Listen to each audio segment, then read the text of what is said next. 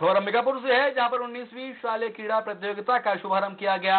आयोजन के दौरान प्रदेश स्वास्थ्य एवं परिवार कल्याण मंत्री टी एस सिंहदेव मुख्य अतिथि के रूप में मौजूद रहे।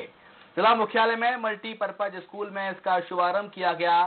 चार दिनों तक चलने वाली इस प्रतियोगिता में प्रदेश भर के खिलाड़ी हिस्सा ले रहे हैं। इसका समापन उन्नीस सितंबर को होगा।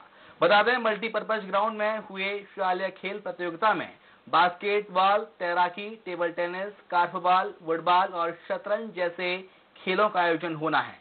इसके लिए शहर के stadium, ground Holy Cross school, निगम का तरणताल समेत कई स्कूलों के खेल मैदानों का उपयोग किया जाएगा। ये राज्य स्तरीय उन्नीसवीं शालेय खेल क्रीड़ा प्रतियोगिता का आयोजन उन्नीसवा आयोजन।